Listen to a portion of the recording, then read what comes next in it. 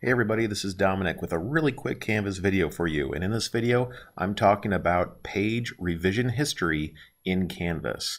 Now, if you've worked with Google Docs or with Word Online, you might already be aware that you can actually take your document back in time and go back to previous versions of it. Did you know you can do the same thing in Canvas? Let me show you. So I'm going to hop over to one of my courses here. And I'm going to go, let's see, I'll go to the Pages tab and I'll click on view all pages. And let's just grab one of my pages here. Maybe I'll grab this uh, well, I'll grab the home page. How about that?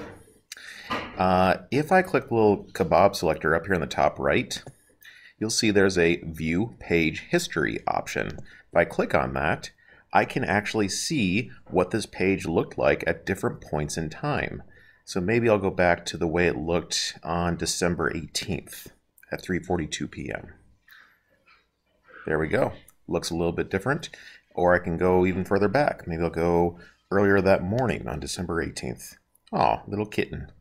And now that I've selected uh, that version of it, I can choose to revert to that version.